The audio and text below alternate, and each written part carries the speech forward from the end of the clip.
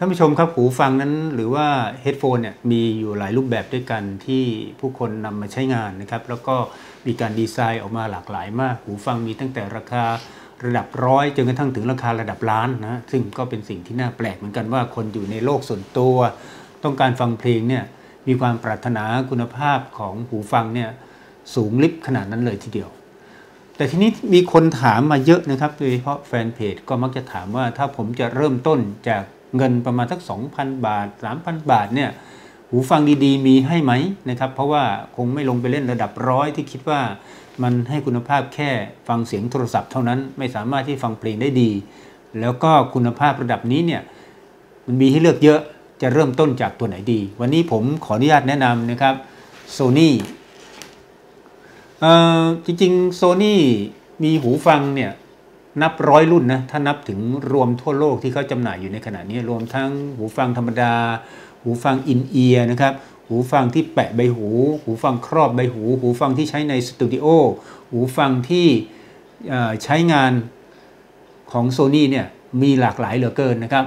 ที่เป็นแฟชั่นเป็นรูปแบบของสีหลากสีสันอะไรก็มีนะครับ ที่ออกแบบมาดีไซน์มาเพื่อให้ใช้กับ High Resolution ก็มี วันนี้จะมาแนะนำตัว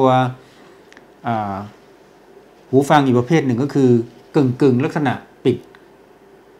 ใบหูนะครับ แต่ไม่ถึงกับครอบ เดี๋ยวท่านผู้ชมลองดูลักษณะของเขานะครับ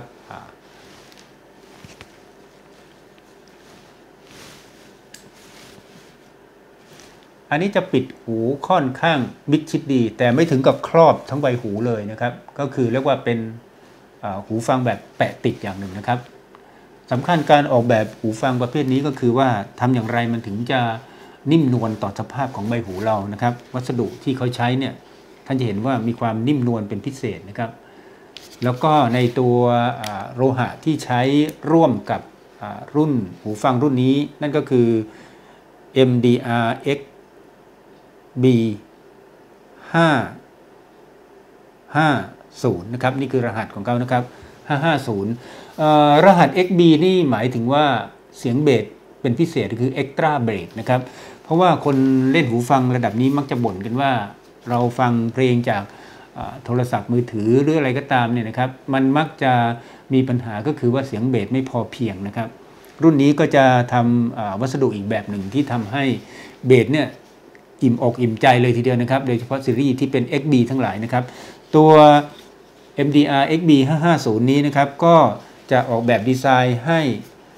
ตัวทรงโค้งของการที่เราจะนำมาครอบศีรษะเนี่ยไม่ไม่บีบรัดจนเกินไปนะครับ โดยเฉพาะโลหะตัวนี้มันจะมีการรัดการเข้าออกเนี่ยที่พอดีพอดีนะครับไม่ไม่ไม่ไม่ใช้แรงกดที่มากนะครับ แต่ก็สามารถกระชับใบหูเราได้นะครับ ลองดูนะครับ ปรับได้นะครับ ปรับให้มันพอดีกับหูเราได้นะฮะ อันนี้ก็สะดวกนะครับ แล้วก็ในส่วนของอหูฟังนี้ก็จะมีที่เสียบนะครับเข้ากับตัวโทรศัพท์มือถือในกรณีของไอโฟนเนี่ยเขาก็จะมีตัวอะแดปเตอร์อีกตัวหนึ่งนะครับ เสียบออกมาแล้วเราก็ไปเสียบเข้าไปนะครับ ก็สามารถใช้งานได้ สายที่ออกแบบมาเนี่ยก็จะเป็นแบบสายแบนนะฮะซึ่งตัวนี้เนี่ย